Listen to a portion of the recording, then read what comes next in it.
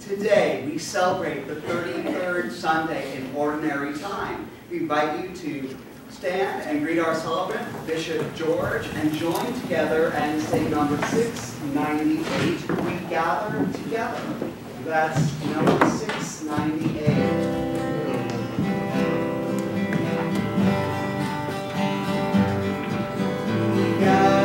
gather together to ask the Lord's blessing.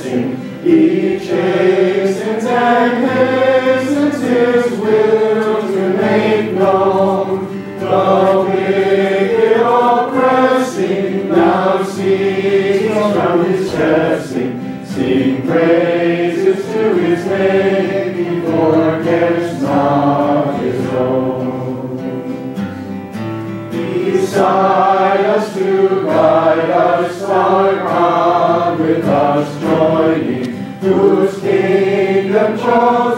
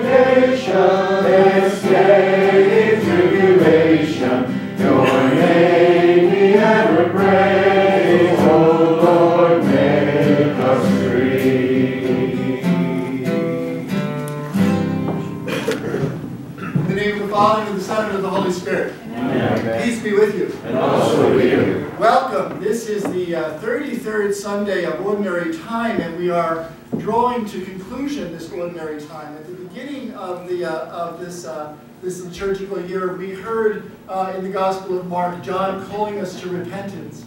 In this in this set of readings today, we hear something about um, the reasons for those repentance, uh, the reason we're called to that, something about the end times.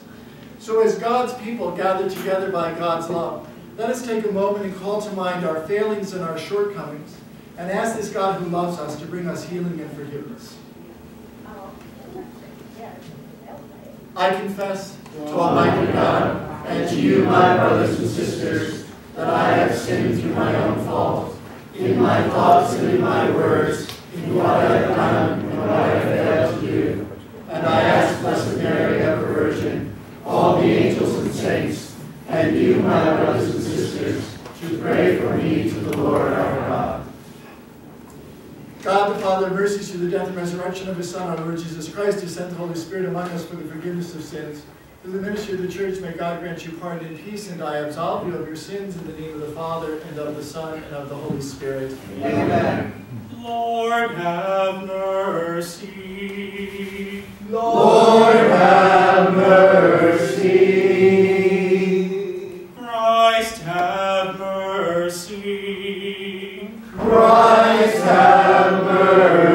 Mercy.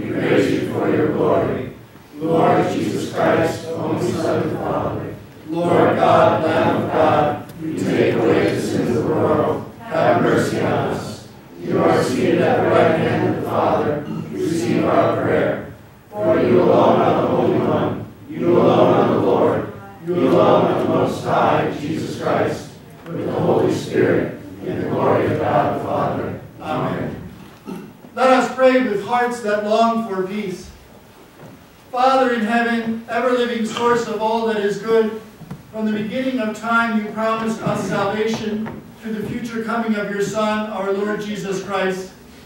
Help us to drink of his truth and expand our hearts with the joy of his promises, so that we may serve you in faith and in love, and know forever the joy of your presence. We ask this through Christ our Lord. Amen.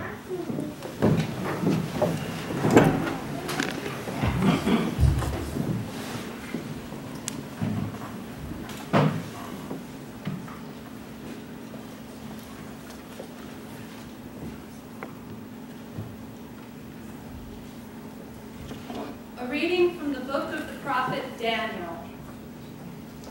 In those days, I, Daniel, heard the, this word of the Lord. At that time there shall arise Michael, the great prince, guardian of your people. It shall be a time unsurpassed in distress, since nations began until that time. At that time, your people shall escape. Everyone who is found written in the book. Many of those who sleep in the dust of the earth shall awake. Some shall live forever.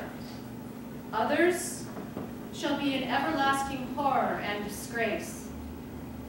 But the wise shall shine brightly like the splendor of the firmament.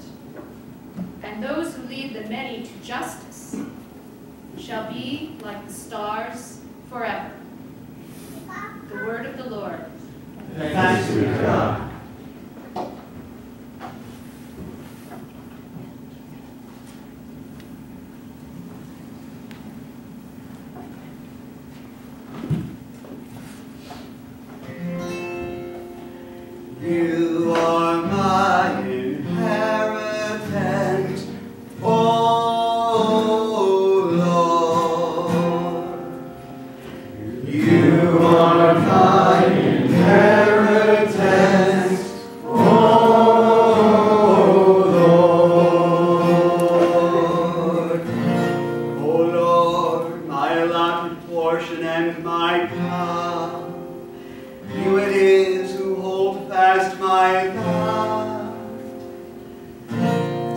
set the Lord ever before me.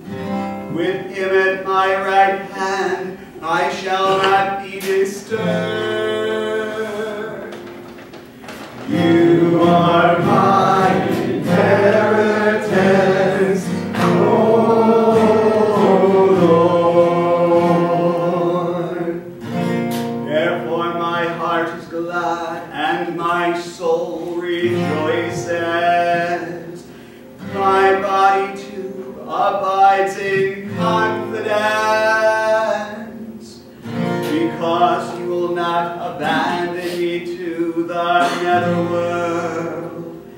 nor will you suffer your faithful ones to undergo corruption.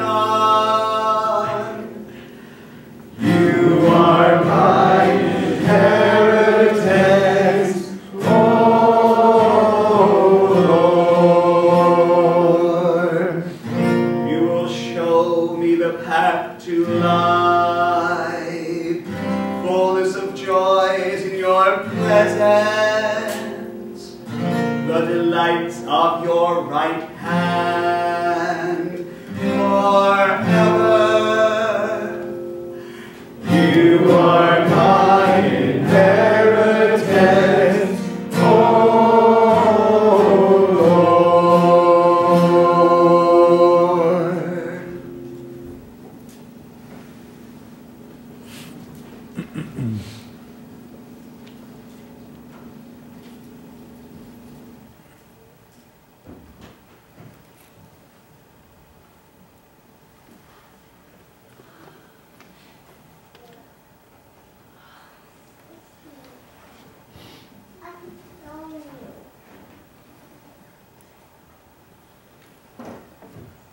A reading from the letter to the Hebrews.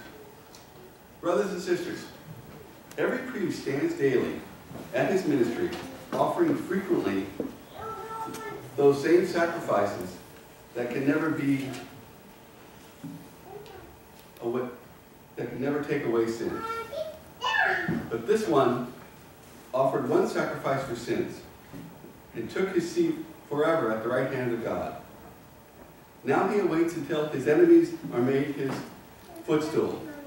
For by one offering he has made perfect forever those who are being consecrated. Where there is forgiveness of these, there is no longer offerings of sins. The word of the Lord. Thanks be to God.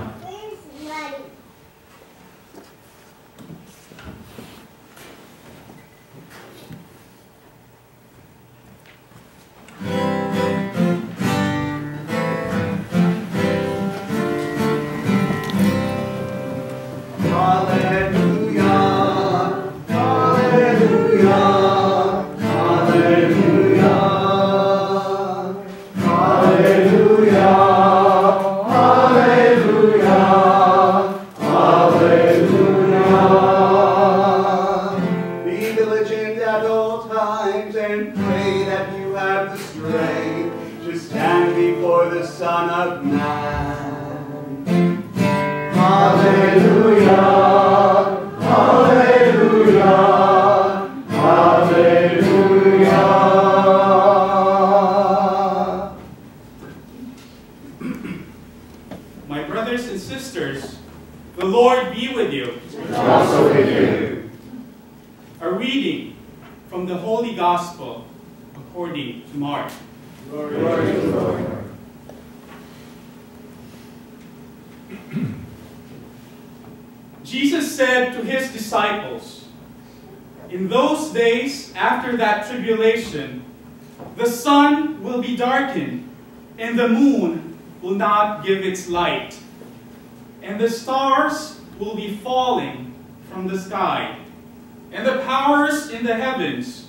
will be shaken. And then they will see the Son of Man coming in the clouds with great power and glory. And then he will send out the angels and gather his elect from the four winds, from the end of the earth to the end of the sky. Learn a lesson from the fig tree. When its branch becomes tender and sprouts leaves, you know that summer is near. In the same way, when you see these things happening, know that he is near at the gates. Amen, I say to you, this generation will not pass away until all these things have taken place. Heaven and earth will pass away, but my words will not pass away. But of that day or hour, no one knows, neither the angels in heaven nor the Son, but only the Father. My brothers and sister, sisters, the gospel of the Lord. Praise you, Lord Jesus Christ.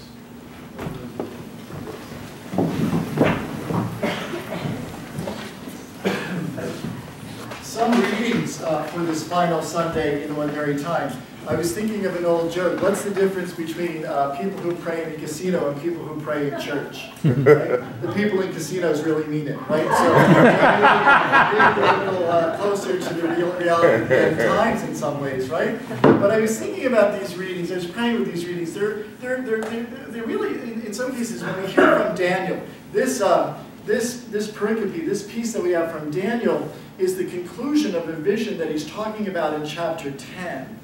And we hear how, you know, in the, in the and, and um, um, apocalyptic literature, this kind of literature, this genre of literature, was often used by people who were oppressed to, uh, to uh, communicate something, uh, to reveal something, right? And, and exhorting them to hold on into faith. But, but we hear how this final time is going to come with destruction. And maybe, maybe a couple weeks ago we thought we were living in the end times, right? In terms of that, right? I'm thinking about Pat and Abby who were on a cruise and they had 45 foot waves uh, for that cruise during that time. So I'm thinking that that probably felt a little at times than it is too.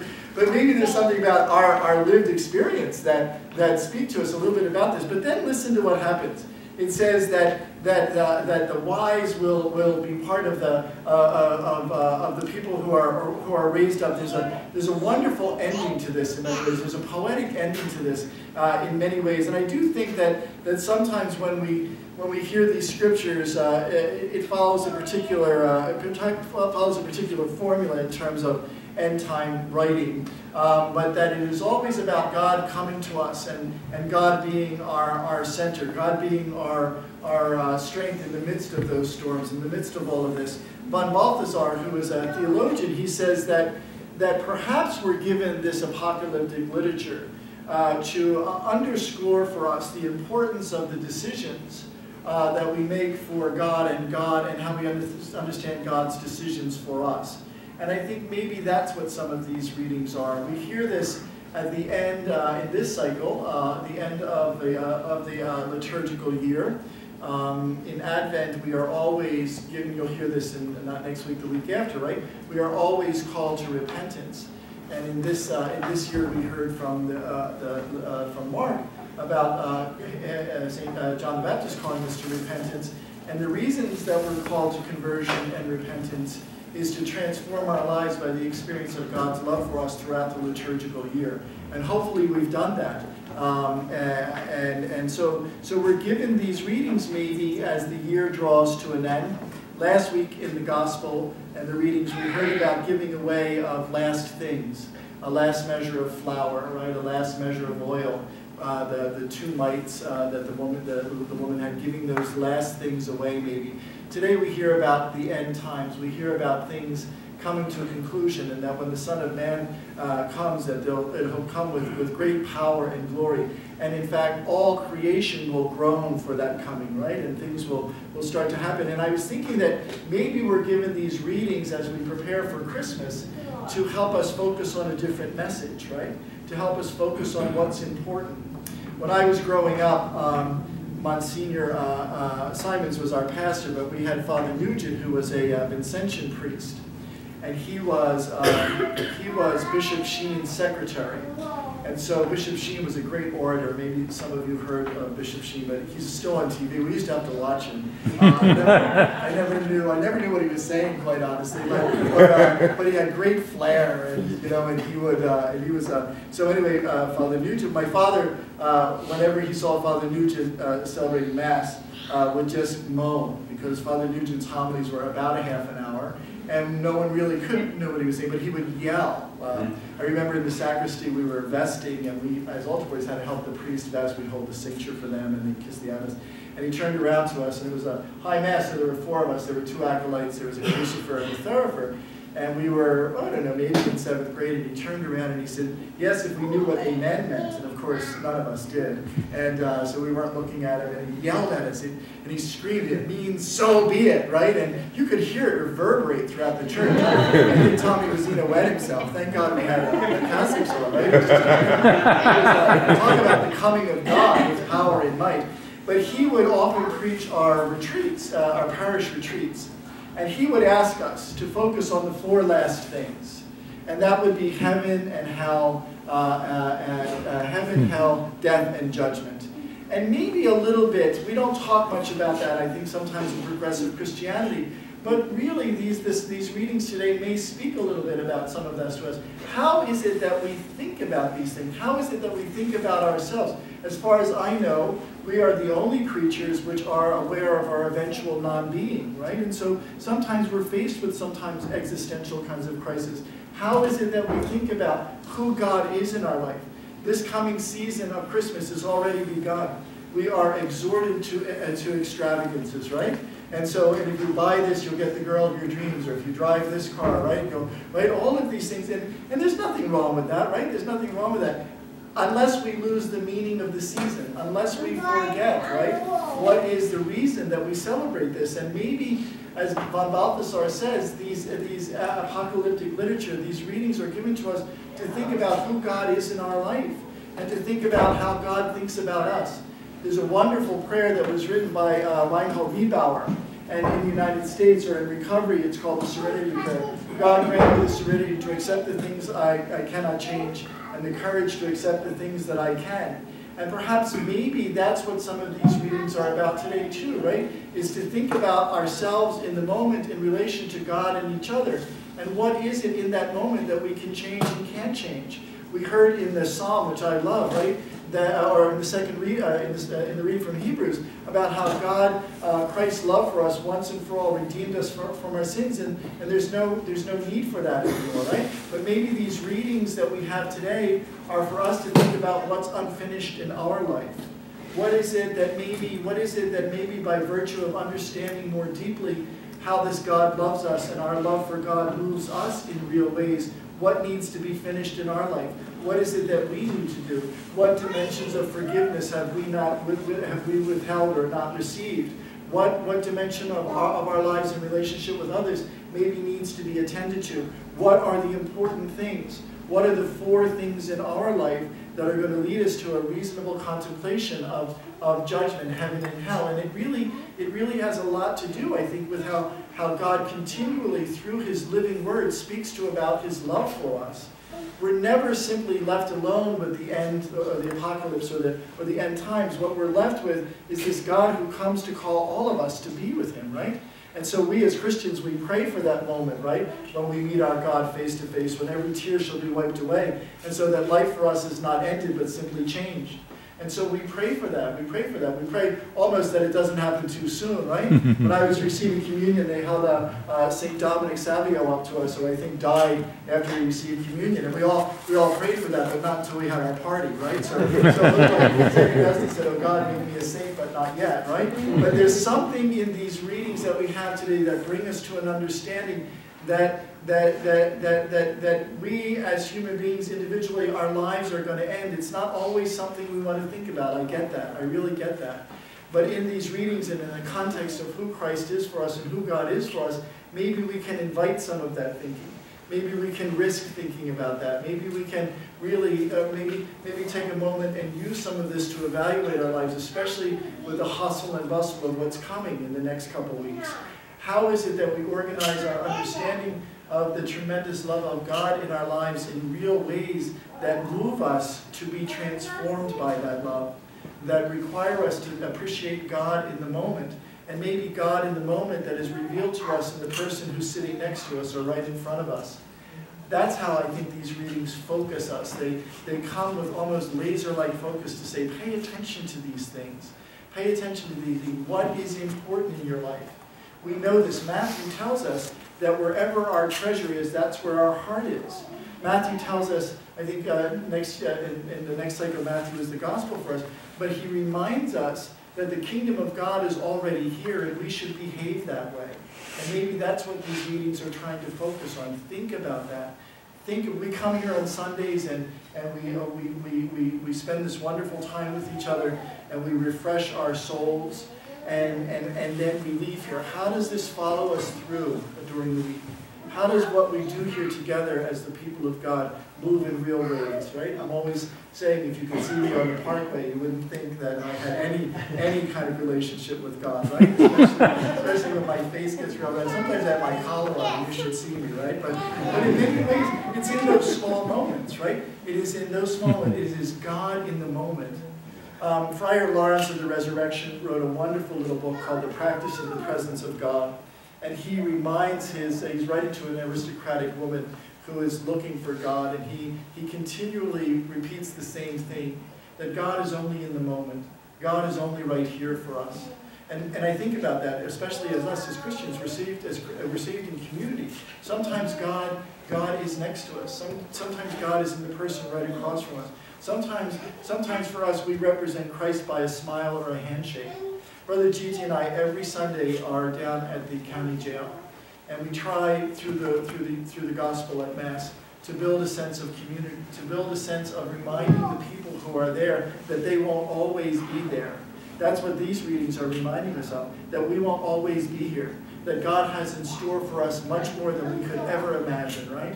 And so when we come together and we are nourished by this Word of God, it is for us as Christians to enflesh that in real ways. That's what we're going to celebrate in six weeks. That God, God comes to us in the skin of a human, right? And so, so that because of that, you and I then need to think about how we enflesh God, how we put skin on God in the real world as well, right? And so, so that maybe these readings help us today to focus on, on the real meaning of things and that, that it is God only in the moment.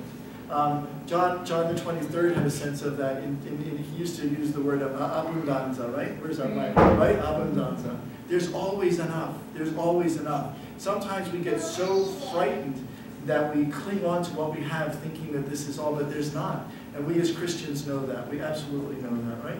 So, so as we gather together, as we prepare for next Sunday, the Feast of Christ the King, and move into the season of Advent. Advent from the Latin means to move towards, adveniat, right? And so, so what we're asked to do today is to prepare ourselves for that moving forward, right?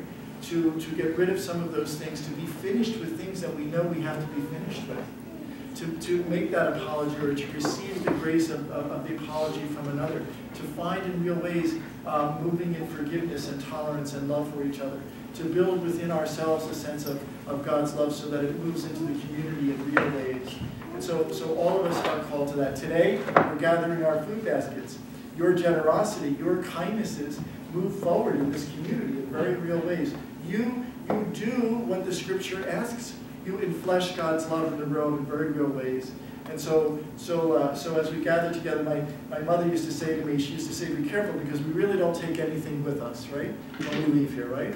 Uh, and maybe what we take with us is, is, uh, is, is the memory of, of, of, how other people remember us loving, right? Nothing else really goes with us. St. Francis reminds us of that all the time. So as, as, as we move forward uh, in this time of Advent, as we move in this season of preparation, these readings about the end times may speak more to us today about needing to, uh, maybe needing to be finished with some things that weigh us down so that we can focus on really what's important for us. So let's continue in the name of the Father, and the Son, and the Holy Spirit.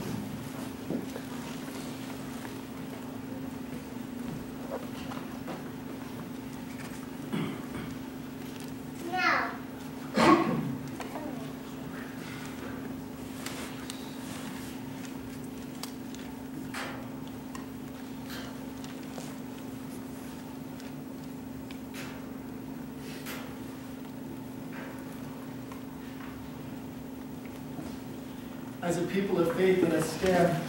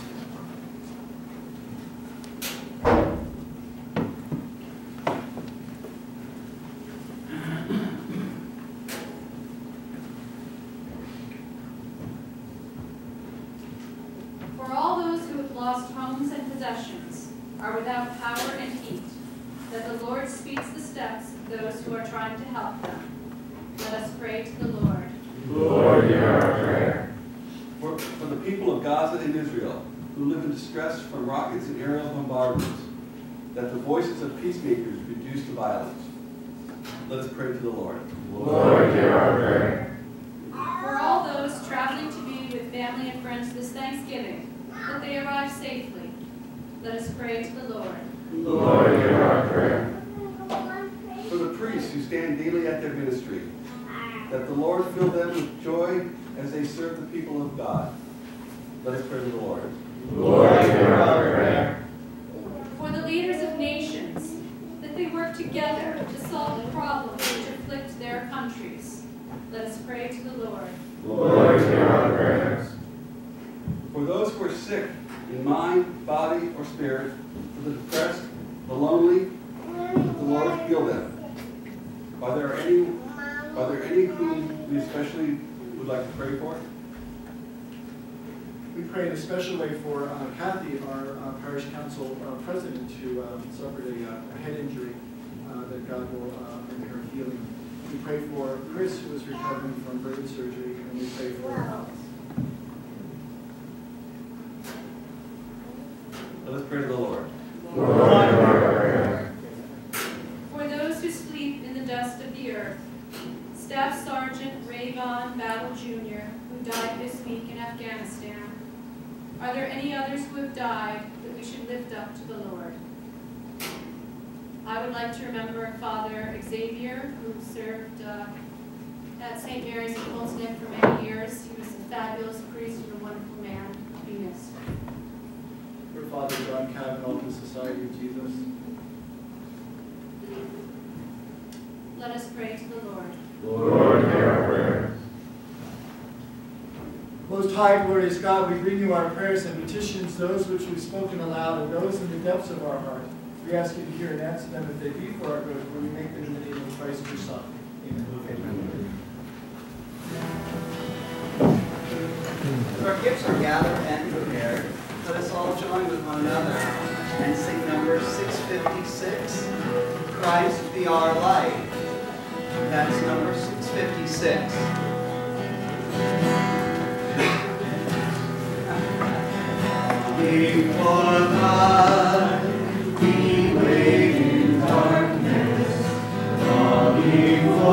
For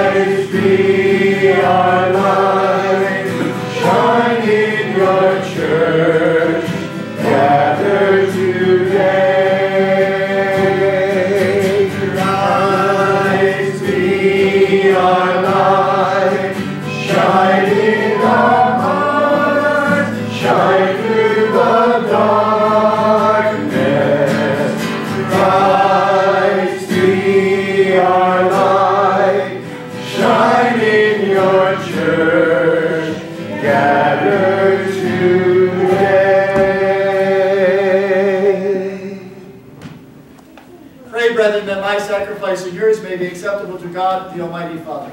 May the Lord accept the sacrifice in your hands, to the praise and glory of his name, for our good and the good of all his church. Lord God, may the gifts we offer increase our love for you and bring us to eternal life. We ask this in the name of Jesus the Lord. Amen. Today we'll pray the Eucharistic prayer, Jesus, the compassion of God. The Lord be with you. And also with you. Lift up your hearts. We lift them up to the Lord. Let us give thanks to the Lord our God. It is right to give thanks and praise. It is truly right to give you thanks. It is fitting that we offer you praise, Father of mercy, faithful God. You sent Jesus Christ, your Son, among us as Redeemer and Lord. He was moved with compassion for the poor and the powerless, for the sick and the sinner. He made himself neighbor to the oppressed. By his words and actions, he proclaimed to the world that you care for us as a father cares for his children. And so with all the angels and saints, we sing the joyful hymn of your praise.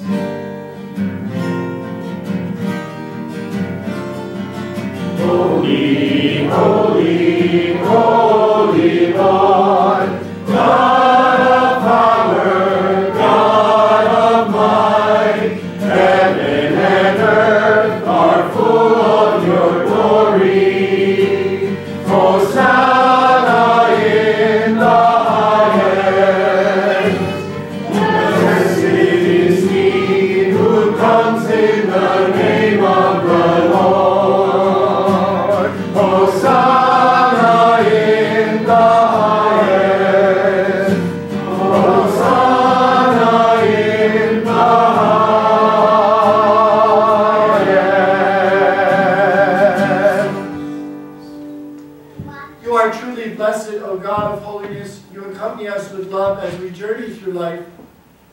Is your Son, Jesus Christ, who is present among us and whose love gathers us together.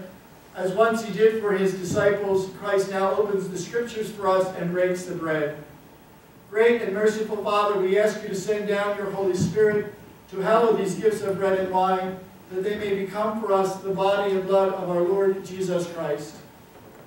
On the eve of his passion and death, while at table with those he loved, he took bread and gave you thanks.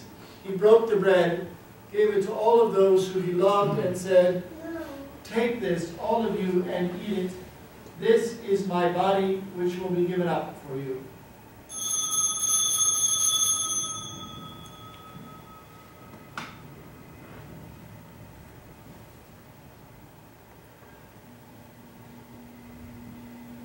When supper was ended, he took the cup.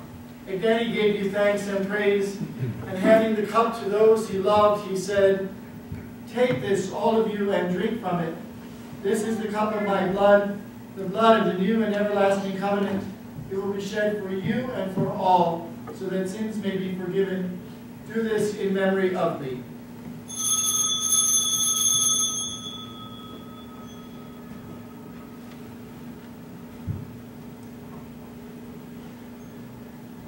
Us proclaim the mystery of faith.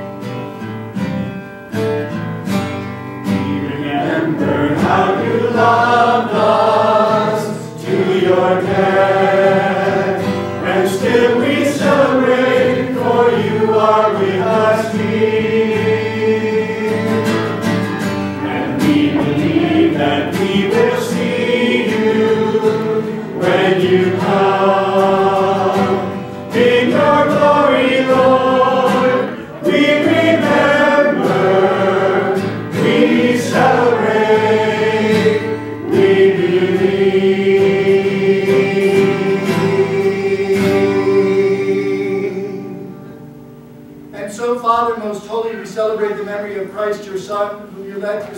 death on the cross to the glory of the resurrection and a place at your right hand.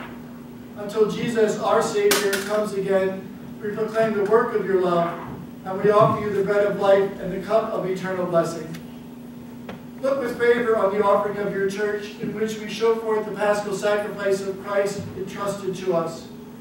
To the power of your spirit of love, include us now and forever among the members of your Son, whose body and blood we share.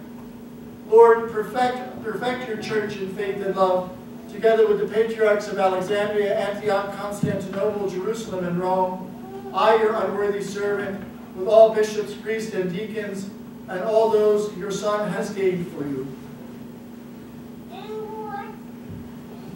Open our eyes to the needs of all. Inspire us with words and deeds to comfort those who labor and are burdened. Keep our service of others faithful to the example and command of Christ. Let your church be a living witness to truth and freedom, to justice and peace, that all people may be lifted up by the hope of a world made new. Be mindful of our brothers and sisters who have fallen asleep in the peace of Christ.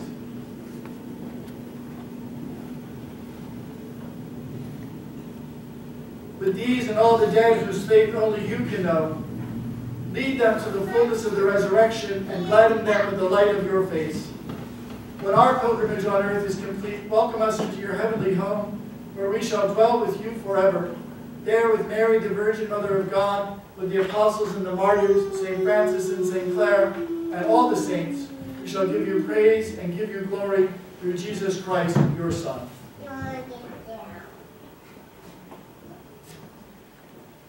Through him, with him, in him, in the unity of the Holy Spirit, all glory and honor is yours, Almighty Father, forever and ever. Amen. Hallelujah. Forever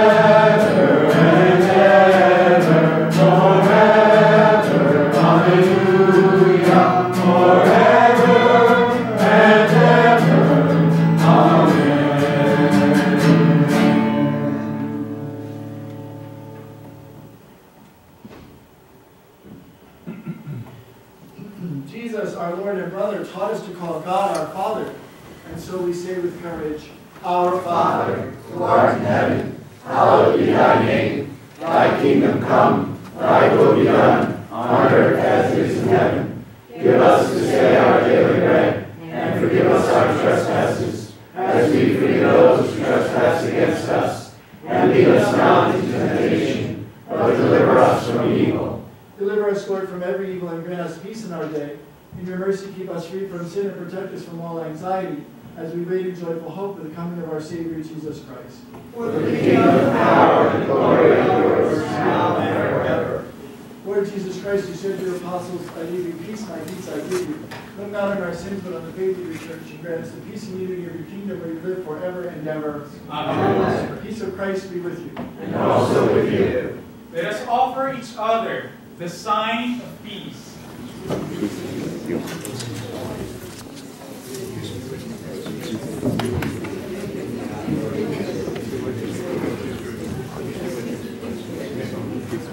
Peace be with you. Peace be with you. Peace be with you.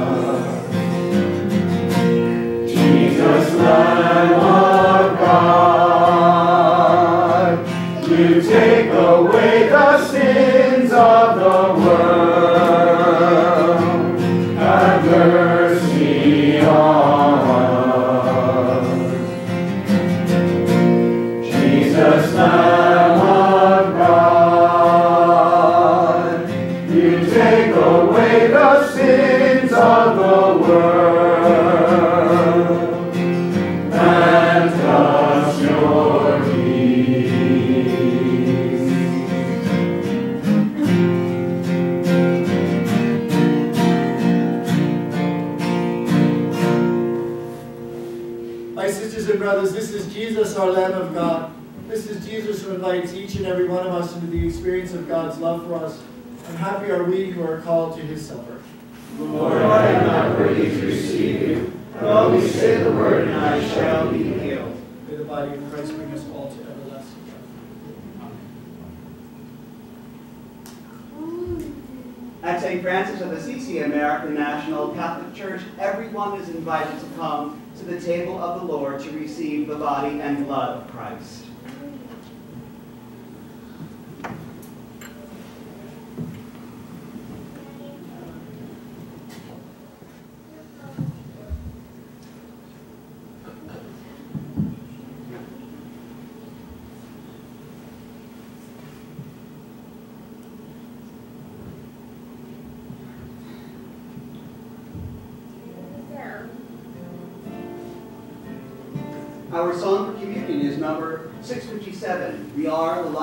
world. Let us all join together and say number 657.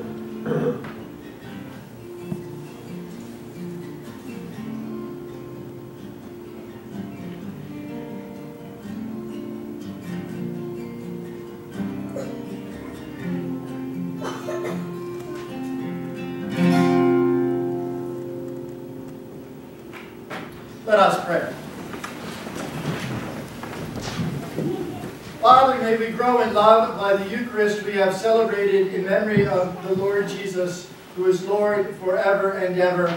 Amen. The Lord be with you. And also with you. I want to, uh, I want to always thank Jeff. I know he struggles a little bit uh, with uh, Seeing. seeing and singing and all of that. I think it's very complicated. Um, if you listen, if you have any musical talents, especially for Advent and Christmas, please see Jeff. Uh, we'd love to have you participate, right? Um, and uh, so I just want to, I want, to just encourage, as I always do, right? As I always do. This is uh, really your parish, so so uh, so please participate as you can. Thank you so many for doing the readings, and, uh, and uh, there's a training right after mass today. Absolutely. Um, there is Allison. Where's Allison? You want to say something? Um, Thank you to everyone who brought in their donations. Um, we have the boxes and I've been setting them up and so we're just packing them and wrapping them, decorating the boxes. The woman is coming around three o'clock, so any help that we could get between now and then to make sure everything is finished would be very appreciated. it's in So, and thank you to everyone who brought things in. Thank you. Just make a left when you go out of the chapel, it's right on the stage if you want to help of that. We've adopted eight families, and so we're giving baskets to uh, eight people uh, who, uh, who need that. And then Bloomfield Social Service is going to come and collect that for us. Uh, bless you. And then through Advent and Christmas, well, we, which is what we always do, we, we, um, we gather, uh, we have a giving tree, we gather things for the poor and those who need it. So, uh, so you're always very generous. You really are always very, very generous. Um, uh, next week is the Feast of Christ the King, and then we start Advent. So on, uh, uh, in the parish notes, if you saw that in the bulletin, there was a request that for our preparation for Advent, we used to, when I was growing up, the parish priest would come and visit us. It was, uh, my mother called it the block collection. And for a extra. I'm not going to come for that, right?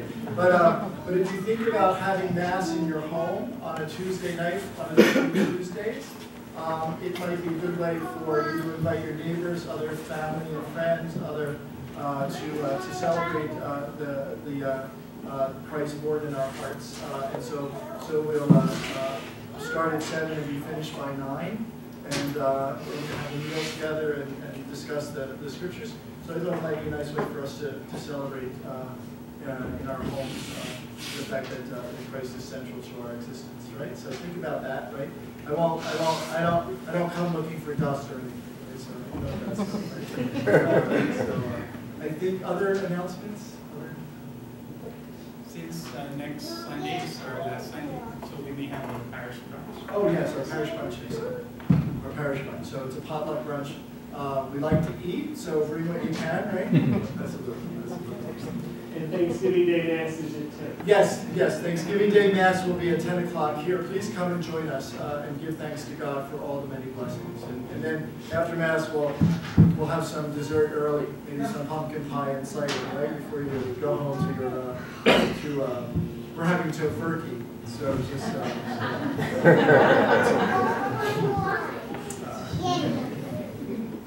Let us bow our heads and pray, and pray for God's blessing. May Almighty God keep you from all harm and bless you with every good gift. Amen. May He set His word in your heart and fill you with lasting joy. Amen. May you walk always in His ways, knowing what is good and right until you enter your heavenly inheritance. Amen. And may Almighty God bless you. In the name of the Father, and of the Son, and of the Holy Spirit. Amen. Um, At 5 o'clock today, our parish is participating in the Interfaith uh, Thanksgiving celebration at Christ Church. All of you are welcome to participate in in that with us. It's uh, it's our Jewish brothers and sisters and our our Protestant brothers and sisters, and we're, uh, as far as I know, we're the only Catholic represented there, so let's come out in force. No, just joking, just joking. Uh, But, uh, but please join us if you can. It's a beautiful, uh, it's a beautiful liturgy of song and, uh, and it's just beautiful. The cantor from the temple, Bethany to me, her voice is like an angel. It's unbelievable. So, so, um, uh, so, um, The Mass is ended. Let us go in peace to love and serve the Lord. Thank you. Let us all go forth, join together and singing number 605, Though the Mountains May Fall. That's number 605.